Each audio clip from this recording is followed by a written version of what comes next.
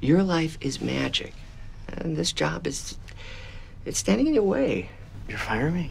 It's a fire opportunity. Jason here has just joined our ranks of professional magicians.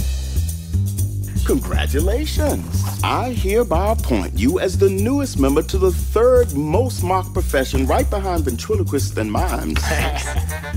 Wear a tux. Why does every magician think they have to wear a tux? So they don't think you're the plumber. Although that could get you laid. I'm here to do a magicogram. Tear the paper up. Turns into a hat. You suck. The contest is huge. You should enter. That contest has launched many careers. It launched mine. That contest is less than a week away. I don't have an act. Oh, come on. You got all sorts of good stuff.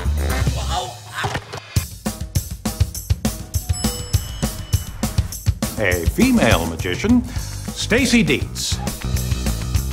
I'm new in town and I don't know any magicians. I thought we could Get together and talk magic. Why don't you have Stacy help with the act? I don't trust her. She'll pull me into her sordid life. We'll be the next Bonnie and Clyde.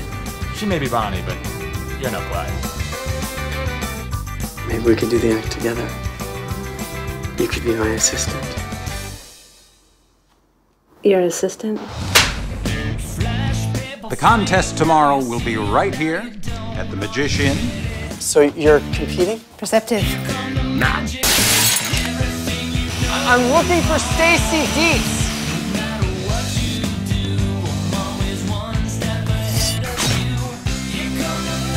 How would you feel if you had to wear an outfit like this?